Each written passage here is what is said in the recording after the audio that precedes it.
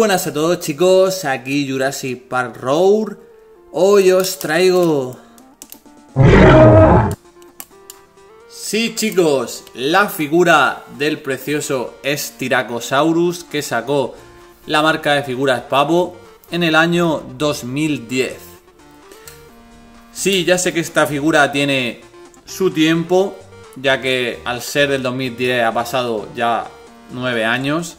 Pero os puedo asegurar de que esta figura, aunque pase el tiempo, sigue siendo preciosa, ya que solo tenéis que verla para comprobar de lo que estoy hablando. Es muy bonita y, por supuesto, detalladísima, como siempre nos tiene acostumbrado la marca Papo. Y bien, antes de comenzar con la review de la figura, voy a poneros en contexto de qué fue o quién fue el Styracosaurus. Bien. El Styracosaurus fue un dinosaurio herbívoro, herbívoro ceratópsido que vivió a finales del periodo Cretácico hace alrededor de 75 millones de años en lo que hoy conocemos como Norteamérica. Media en torno a los 5 metros y medio de largo, un metro y pico a 2 metros de alto y su peso rondaba los 2.700-2.800 kilos. Su nombre significa reptil con pinchos, ya que lo más llamativo, como suele ser común en este tipo de ceratópsidos, es la gola, la cual podéis observar que está cubierta de estos mismos pinchos. Eh, esta hilera de pinchos le servían para defenderse de los depredadores, además de un cuerno nasal, el cual también le servía para defenderse o incluso para las peleas entre los de su misma especie, ya sabéis, por la hegemonía del poder en la manada o bien eh, por el apareamiento. También hay que decir que eh, su tamaño lo deja en la mitad de los ceratópsidos en cuanto a escala. Este ceratópsido se las tenía que ver con dinosaurios de la talla del Gorgosaurus. Además solían ir en manada para defenderse de sus atacantes. Los primeros restos fósiles fueron hallados en Alberta, Canadá, por Sternberg en la formación Dinosaur Park en 1913.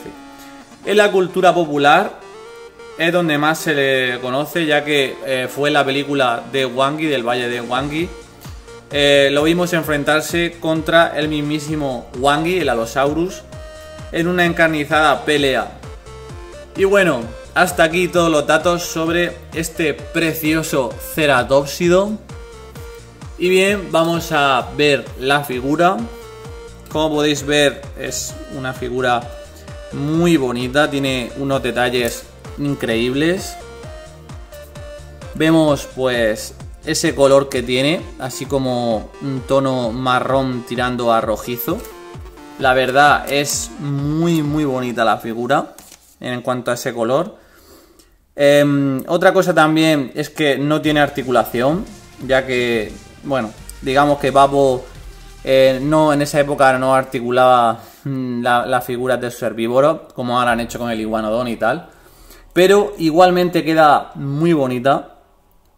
Fijaos todos los detalles que tiene, sobre todo eh, lo que viene siendo las, eh, los pliegues de la piel, los osteodermos, algunos osteodermos que se pueden marcar, la zona de la cresta que tiene marcada oscura por la espalda. Vemos también eh, los detalles también de la musculatura, el cuello, fijaos, muy bien realizado. La cara, que es lo más llamativo, obviamente, por esa inmensa gola, tiene una gola muy pronunciada también, con, con las típicas marcas y dibujos que tiene. Los cuernos del Styracosaurus, que le, le llevan por toda la, la zona de la cresta, o sea, es increíble. Es muy bonito todo. Los ojos también muy bien pintados. Papo, de verdad que la calidad que tiene es impresionante. También el pico. Es increíble la lengua también. Muy bien pintada. La zona, digamos, del paladar, fijaos. Es preciosa. Y luego también eh, las patas, aunque debo de decir que no me gusta mucho que, la hayan pintado así. Digamos, la única pequeña pega que le pondría con este color, así como si hubiese pisado barro, Que sí que es verdad que le da, digamos, un tono diferente, pero no sé, le resta algo de color. Aún así me gusta, tiene su encanto. Eh, y bueno, por lo demás, pues es una figura muy bonita. Con esos colores así rojizos y, con esos cuernos tan, tan pronunciados y, tan bellos. Y bueno, pues aquí tenéis al Styracosaurus de pavo. Voy a ponerlo del otro lado para que veáis también cómo quedaría vista desde, desde este lado. Es increíble. Y bien, ha llegado el momento. Muchos me diréis, Jurassic Park Road, ¿recomiendas la figura del Styracosaurus? Y yo te digo, ahora mismo es la única figura que poseo de un Styracosaurus y te puedo asegurar de que para mí, ojo, ya sé que hay otras como las de colecta que son muy bonitas, pero para mí esta es la mejor figura de Styracosaurus que hay en el mercado. La mejor. En cuanto a lo que viene siendo, pues, el detalle y demás. Que sea, que sea científicamente correcta o menos. Ya eso ya entra cada uno dentro de, pues, de la, digamos, de la escala que tenga sobre eso. Yo, por ejemplo, prefiero eh, esta figura sobre la, la. Que me ponen un estiracosaurio de dinosauria que no son figuras, sabemos todos que son esculturas, obviamente mm, voy a, escoger esa, pero dentro de lo que hay ahora mismo, dentro de la gama de figuras que tenemos en el mercado, esta es la que más me gusta. Y bueno, pues también quería medirla antes de que se me olvide, que ya se me, ya se me estaba pasando, voy a medirla para que veáis su tamaño. Mide unos 14 centímetros, casi 15 centímetros de largo. Y de alto mide unos, a ver, hasta el cuerno nasal, mide unos 10 centímetros. Casi 10 centímetros de alto. O sea, es una figura no muy grande, obviamente. El estiracosero no era un dinosaurio grande. Y, y, quedaría de lujo en vuestra colección, sobre todo si coleccionáis pavo y demás. Quedará perfecto. Bueno, pues ya hemos llegado al momento crucial. Vamos a hacer la comparativa con otro dinosaurio. Así que voy a por unos dinosaurios de pavo.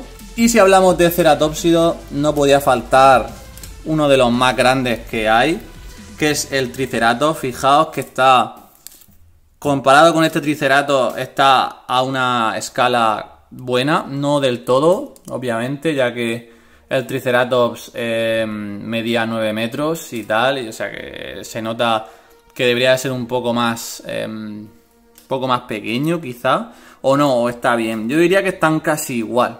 O sea, la verdad que me gusta, me gusta lo que veo. Me gusta el estiracosaurio de pavo frente a este Triceratops, porque aquí hay un, digamos, un hueco, por lo tanto sí que podría estar a escala, por así decirlo, con este precioso Triceratops de pavo. Y aquí podéis ver la comparativa entre estos dos preciosos ceratopsidos. Y bien, voy a traer otra figura para que sigamos con la comparativa. Esta vez voy a traer de otra marca, de Rebor.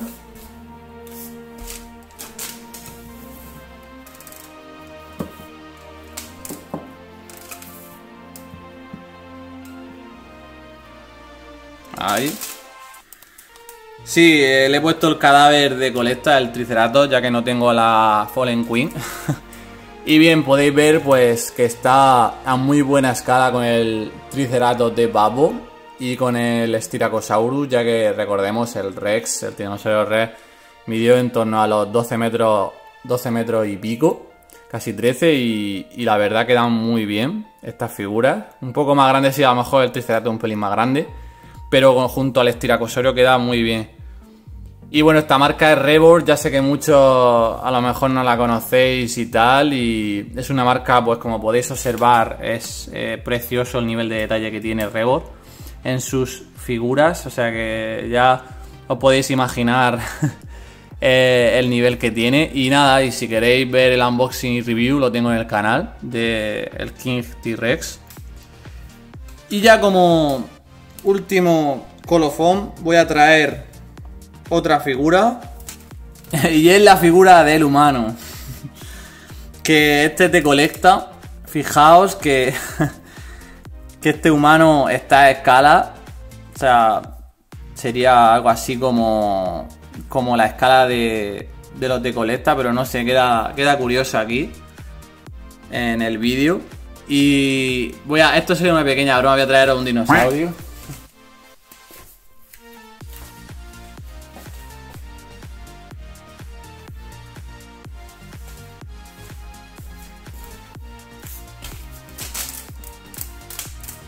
El Ankylosaurus magniventris, fijaos, debería de ser un poco más grande ya que el Ankylosaurus midió un tono de los 8 metros y está prácticamente casi al mismo casi a la misma longitud que el estiracosaurio, pero bueno, queda bastante bien junto a estos dinosaurios. Muy chulo también de pavo. Y bueno, pues nada más, chicos. Eh, simplemente Suscribíos si no estáis. Darle un fuerte like al vídeo si os ha gustado. Y nada, tengo más de 100 vídeos sobre dinosaurios y criaturas prehistóricas. Os invito a que le echéis un vistazo al canal, ya que hay bastante contenido. Eh, y nada, eh, simplemente eso, compartid las redes sociales si queréis. Y hasta aquí el vídeo de hoy. Nos vemos en el próximo vídeo. Adiós.